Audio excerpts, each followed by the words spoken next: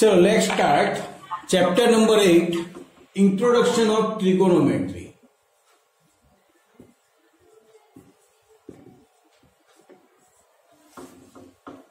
Trigonometry is depends on right angle triangle. Okay? Means trigonometric totally right angle triangle पर depend है Suppose this is right angle triangle ABC. In a triangle, you have known that three sides AB, BC and AC and three angle angle A, angle B and angle C. This is right angle triangle. So, one angle is right angle. Here angle B is right angle and these two angles are acute angles. Angle A and angle C are acute angles, means the measures of both angles is less than 90. Okay? Or opposite side of right angle is called hypotenuse. Right angle की opposite side को हम बोलेंगे hypotenuse ये word इसलिए सिखा रहा हूं कि यही है चैप्टर में बराबर चलो अब राइट एंगल के अलावा यहां पर दो एंगल बचे angle A and angle C suppose हम एंगल सी अभी एज्यूम करते हैं एस थीटा इसको बोलेंगे थीटा इसको बोलेंगे अल्फा इसको बोलेंगे बीटा इसको बोलेंगे गैमा इसको बोलेंगे फाय ओके okay? तो ये क्या है तो जैसे कोई भी नंबर हम एज्यूम करते हैं ना तो हम एक्स वाई ए बी ऐसा कुछ एज्यूम करते हैं बराबर है नंबर के बदले में तो एंगल के लिए ज्यादातर हम ऐसे रोमन वर्ड यूज कर सकते हैं इसीलिए जब भी एंगल एज्यूम करना है तो ज्यादातर हम थीटा का यूज करेंगे मेरी थीटा शो करने की जो एक हैबिट है वो ऐसी है एक्चुअली थीटा ऐसा होता है बराबर बट मैं ऐसे करूंगा आप समझ लेना और फाय लंबी लाइन होती है यानी थीटा और फाय मिक्स मत करना ओके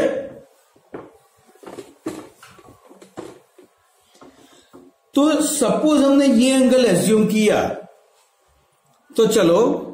अब आप में से कोई बताओ प्रिंस बोलेगा which is opposite side of theta theta की ऑपोजिट साइड कौन सी है थीटा की opposite side A and B A B A and B A B A and B वो हाँ। दो दो वर्टेक्स अलग अलग है मैंने वर्टेक्स नहीं पूछा साइड तो opposite side of angle C is A B okay तो इस एंगल के लिए ये ऑपोजिट साइड बनी एंड सेकंड वर्ड है एडजस्टिंग साइड देखो opposite side word means opposite means सामने वाली तो एडजस्टिंग मीन्स पास वाली तो थीटा की पास वाली साइड कौन सी है बीसी अब कोई ऐसा भी बोल सकता है सर एसी भी है बट एसी को हाइपोटेन्यूज रहने दो ना एसी हाइपोटेन्यूज है उसको छूना नहीं है हाइपोटेन्यूज के अलावा दो साइड बची उसमें से एक ऑपोजिट दूसरी एडजस्ट यानी हाइपोटेन्यूज यहां पर ऑपोजिट या एडजस्टिंग के लिए देखना नहीं है start once again means for angle C A B is opposite side and A C is hypotenuse B C is adjacent side okay bc is adjacent side suppose we assume theta here एक angle A तो इसके लिए opposite side BC हो जाएगी और adjacent side A B हो जाएगी okay तो ऑपोजिट साइड को हम शॉर्ट में बोलेंगे ओ एस एडजेसेंट साइड को हम शॉर्ट में बोलेंगे सॉरी ऑपोजिट को ओ एस एडजेसेंट को ए एस और हाइपोटेन्यूज को सिर्फ एच से हम शो करेंगे यहां पर बराबर चलो वत्सल हाँ this is our triangle ABC angle B is right angle so AC is hypotenuse means H okay अब हम एज्यूम करते हैं सी पर suppose angle C is theta okay और angle C is theta here we will learn six trigonometric ratios sine cos tan cosec sack and quart. Okay? These six are called trigonometric ratios. बस आज जो मैं समझा रहा हूं वो बहुत ही इंपॉर्टेंट है और अगर इतना माइंड में बैठ गया तो आपको इस चैप्टर में कोई भी तकलीफ नहीं रहेगी बराबर कहीं पर भी आपको कुछ पूछना है सर ये हाउ वाई वेर वॉट कुछ भी पूछना हो तो एनी टाइम पूछ सकते हो बराबर चलो सबसे पहले मैं लेता हूं साइन थीटा साइन थीटा की फॉर्मूला है ऑपोजिट साइड अपॉन हाइपोटेन्यूज देखो ये थीटा है इसके लिए ये ऑपोजिट साइड है और इसके लिए ये एडजस्टेंट साइन है सपोज हम थीटा यहां लेते हैं ए पर तो मैंने अभी बताया ऑपोजिट एंड एडजस्टेंट साइड बदल जाती है हाँ बट साइन की फॉर्मूला तो यही रहती है अब कोई ये मुझे पूछे सर ये कैसे आया तो ये बनाया है हमारी सोच के लिए हमारी समझ के लिए यानी ये कैसे आया ये कोई क्वेश्चन ही नहीं है इसी ऐसे ही कॉस थीटा तो इसकी फॉर्मूला होगी adjacent side upon hypotenuse okay पहले ये दो मैं क्लियर कर देता हूं तो देखो साइन थीटा को हम ऐसे लिख सकते हैं ऑपोजिट साइड क्या हुई सी थीटा है तब A B and hypotenuse A C okay हाँ थीटा यहां हो तो बीसी अपॉन एसी हो जाएगा वो जरूरत के हिसाब से होगा मीन्स हर जगह यही ट्राइंगल हो ये जरूरी नहीं है एंगल बी ही राइट एंगल हो ये भी जरूरी नहीं है वो अपने हिसाब से चेंज होगा बट मेन क्या चीज याद रखनी है ये बराबर तो ये अच्छी तरह से याद कर लो कि sine means opposite side upon hypotenuse cos means adjusting side upon hypotenuse चलो ऐसे ही कॉस में so B C upon AC right अब टेन क्या है तो एक्चुअल में tan theta is equal to sine theta upon cos theta tan theta की वैल्यू क्या है sine theta upon cos theta तो साइन क्या है opposite side upon hypotenuse cos है एडजस्टिंग साइड अपॉन हाइपोटेन्यूज दोनों हाइपोटेन हाइपोटेन्यूज कट हो गए तो टेन थीटा की वैल्यू मिली ऑपोजिट साइड अपॉन से साइड बुला गया समझ में तो कॉस थीटा क्या होगा opposite side A B and adjacent side B C okay direct A ये चलो कॉसेक कॉसेक थीटा अब याद रखना cosec is totally inverse of sine cosec sine का रेसिप्रोकल है कॉसेक साइन का तो चलो कॉसेक की वैल्यू क्या होगी hypotenuse upon opposite side reciprocal ये C upon A B okay तो common sense sec is reciprocal of cos.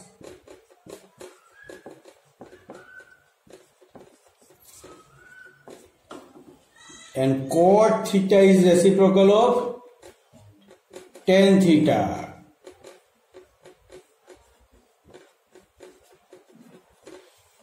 तो इसको हम ऐसा भी बोल सकते हैं देखो sine is reciprocal of cosec so sine theta is equal to one upon cosec theta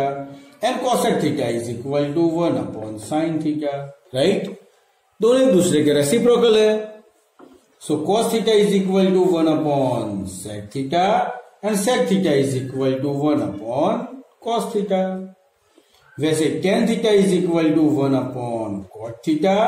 and cot theta is equal to one upon tan theta okay and also मैंने अभी बताया tan theta is equal to sine theta upon cos theta tan theta की value है sine theta upon cos theta ये उसकी उल्टी so cos theta upon sine theta okay तो देखो ये है ट्रिगोनोमेट्री के लिए बेजिक इंट्रोडक्शन और चैप्टर का ही नेम है इंट्रोडक्शन ऑफ ट्रिगोनोमेट्री अब इसी का यूज करके हम पूरा चैप्टर पढ़ेंगे बराबर इस साल के लिए चैप्टर में से जो ऑकवर्ड चीजें थी वो निकाल दी है अब चलो बच्चों अभी हमने पढ़ा sine theta is equal to one upon cosec theta right suppose cosec यहां मल्टीप्लाई होता है so sine theta into cosec theta is equal to one तो ये एक फॉर्मूला बन गई इसका डायरेक्ट भी हम यूज कर सकते हैं ऐसे cos theta is equal to one upon sec theta तो सेट यहां मल्टीप्लाई हो गया cos theta into sec theta is equal to one ऐसे tan theta is equal to one upon cot theta cot multiply हो गया so tan theta into cot theta is equal to one okay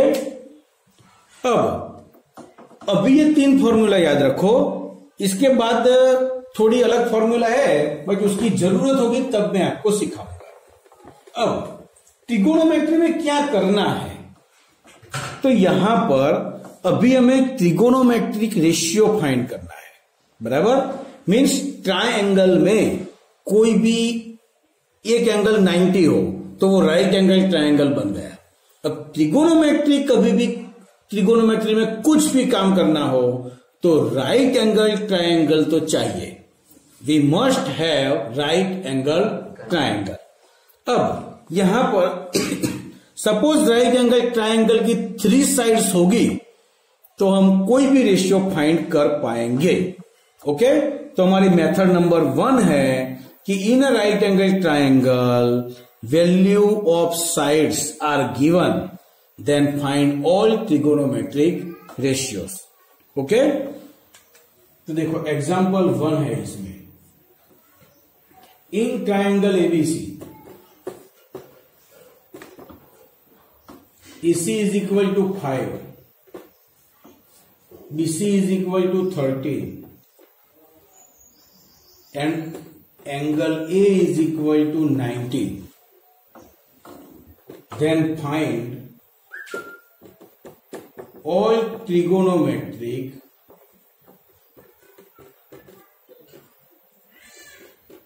ratios of angle B okay देखो angle B के हर एक trigonometric ratio find करो तो क्या है ये समझो this is our right angle triangle and here you have given angle A is 90 देखो कौन सा एंगल 90 है ये बहुत इंपॉर्टेंट है बी सी कहीं पर भी ले सकते हो सपोज मैं यहां बी लेता हूं यहां सी लेता हूं अब यहां पर हमें क्या कहा है कि एंगल बी के ट्रिगोनोमेट्रिक रेशियोस फाइंड करो देखो बी का कहा है तो बी का ही देखना है सी का नहीं देखना है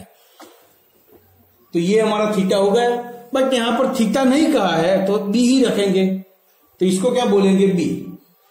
तो इस एंगल के लिए ये हुई हमारी ऑपोजिट साइड ये हुई हमारी एडजेसेंट साइड और ये हाइपोटेन्यूज बस सिंपल देखो अब त्रिकोनोमेट्रिक रेशियो तो sine B is equal to तो साइन की फॉर्मूला है opposite side upon hypotenuse okay Prince बोलो C A C A opposite and hypotenuse and hypotenuse अब रेशियो फाइन करने के लिए वैल्यू चाहिए तो यहां पर वैल्यू दी हुई है एसी फाइव है तो एसी की वैल्यू है फाइव बीसी की वैल्यू है थर्टी अब हमारे पास बी नहीं है देखो तीनों साइड की वैल्यू तो हमें चाहिए तो सबसे पहले बी की वैल्यू हम फाइंड करेंगे कैसे तो पाइथागोरस से क्योंकि हमारे पास देखो अभी A C and B C तो A C and B C तो हो गई वैल्यू बट कॉस में नहीं मिलेगी क्योंकि ये भी नहीं है तो क्या करेंगे सबसे पहले फाइंड करेंगे तो देखो in triangle ABC angle A is equal to ninety so by Pythagoras okay तो पाइथागोरस की फॉर्मूला बनेगी कि राइट एंगल की ऑपोजिट साइड हाइपोटेन्यूज है so B C square is equal to A C square plus A B square